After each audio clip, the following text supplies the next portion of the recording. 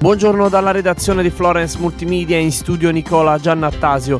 Sulla Fipili segnalate code in uscita alla Strassegna in entrambe le direzioni per traffico intenso sulla viabilità ordinaria per intervento di ripristino frana chiusura dell'uscita verso via Quaglierini in direzione mare. Sul raccordo Siena-Firenze scambio di carreggiata e restringimento di carreggiata tra San Casciano e l'allacciamento per la 1 di Firenze in Pruneta. La statale 64 Porrettana è chiusa tra Pavana e Ponte della Venturina a causa di una frana. Sulla regionale 2 Cassia, senso unico alternato e restringimento di carreggiata per lavori all'altezza del chilometro 268 nel comune di Barberino Tavarnelle. Muoversi Toscana è un servizio realizzato in collaborazione con Regione Toscana, Città Metropolitana di Firenze e Comune di Firenze. Buon viaggio!